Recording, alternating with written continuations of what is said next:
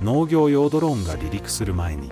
離着陸地点と飛行エリアを詳細にチェックする必要があります。離着陸地点は平地の開けた場所を選び歩行者の多い道路での離着陸は厳禁とします。作業区域に障害物がないか確認し樹木や電柱などの障害物については事前点検を行います。基本的な環境調査の後農業用ドローンの離陸前検査をします。機体を広げてバックルを締めプロペラを水平と上下に振りプロペラの締まり具合をチェックし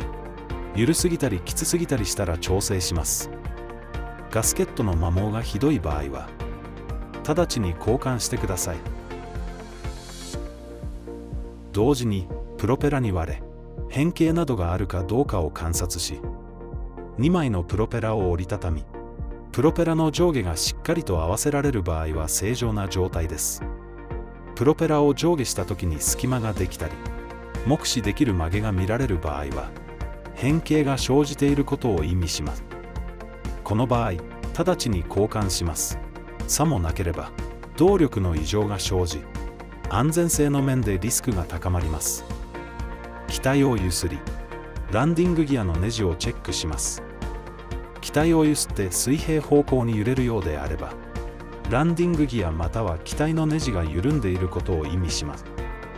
この場合はドライバーでネジを締め再度機体をチェックし機体に揺れがないことを確認してから飛行操作を実行し問題を無視して飛行を続行してはなりません。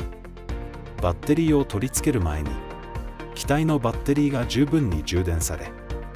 農業用ドローンのサブパネルに黒や緑の酸化物や錆がないことを確認する必要があります。バッテリーを取り付ける際は上部から挿入し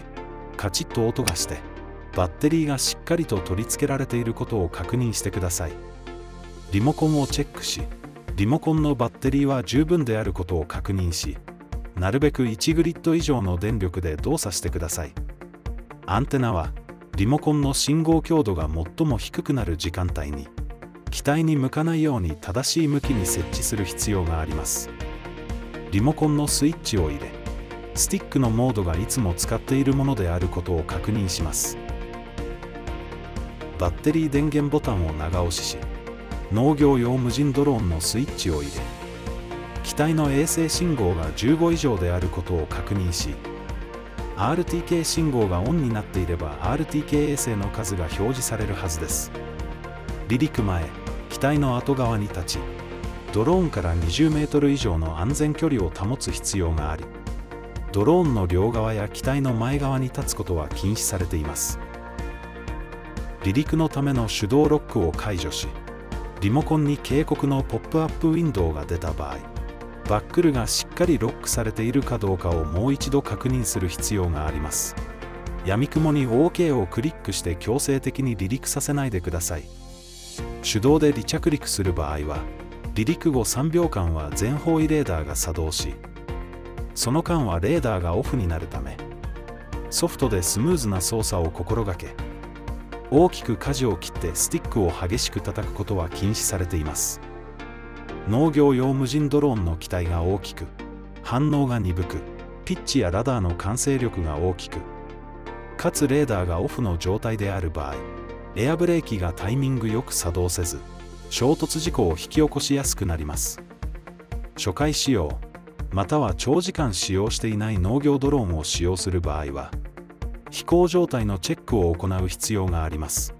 リモコンを起動した後でその場で飛行させて約2.5メートルの高さを維持し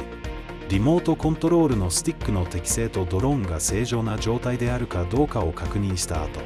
次のステップの操作に進みます。ドローンに異常な揺れやスティックが無ぞり用であるなどの異常が発生した場合は速やかに着陸させて点検する必要があります。以上のチェックを行い異常がないことを確認した後薬液を加えて機体や作業場所の周囲に人がいないことを確認してから作業を開始してください。